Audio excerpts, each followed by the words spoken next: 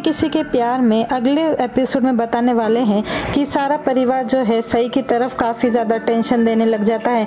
इस बात से पागी काफ़ी ज़्यादा परेशान हो जाती है और वो विराट की अटेंशन पाने की कोशिश करती है, जिसके लिए वो काफ़ी ज़्यादा तमाशा भी करती है। जी हाँ दोस्तों, आने वाले एपिसोड में देखने मिलेगा कि पाखी सही को बुरा बनाकर विराट के करीब आने की कोशिश करती है। इसके बाद से विराट पत्थर लेखा का बहुत ज़्यादा ख्याल रखने लग जाता है, लेकिन तभी सही को ऐसा पत्र लेखा का राज पता चलने वाला है, जो सभी घर वालों के होश उड़ा देने वाला है। नेक्स्ट एपिसोड में बताया जाएगा कि तीन महीना होने के बाद भी पत्र लेखा की प्रेगनेंसी में कुछ नज़र नहीं आता है, जिससे डॉक्टर ये खुलासा कर देंगे कि पत्र लेखा प्रेग्नेंट नहीं है, बल्कि सही प्रेग्नेंट है, जिसके बाद पूरी बाजी पलट जाएगी। ये सब सुनने के बाद भवानी काकू पत्र लेखा को जोरदार थप्पड़ मारती है, क्योंकि पत्र लेखा ने तीन महीने तक उनसे झूठ कहा था। इसके साथ ही जैसे ही उसे पता चलेगा कि सही प्रेग्नेंट है और सही और विराट की ज़िंदगी में नई खुशियाँ आने वाली है।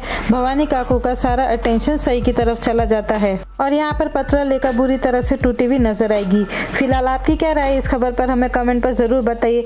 और अगर आप नए हो तो हमारे चैनल को सब्सक्राइब कीजिए।